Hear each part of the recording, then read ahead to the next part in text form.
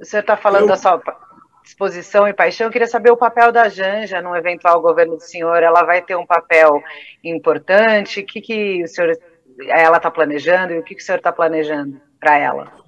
Ô, Carla, se você fosse candidata a presidente e ganhasse, qual seria o papel do teu marido? Ah, não sei, presidente.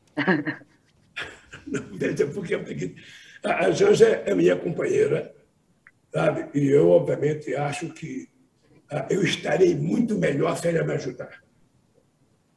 Sabe? Eu, eu não, não, não, não acho que a mulher do presidente tenha que ter um ministério, tenha que ter. Sabe? A mulher do presidente tem que ser mulher do presidente, tem que ajudar ele, tem que discutir com ele, sabe? tem que aconselhar ele, tem que ser contra a coisa que ele quer fazer, brigar com ele.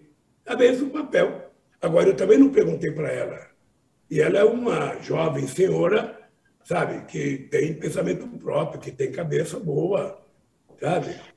E às vezes melhor do que a minha. Então, ela terá a liberdade de pensar, sabe, o que ela quer fazer para me ajudar. Eu, sinceramente, estou tranquilo com relação a isso.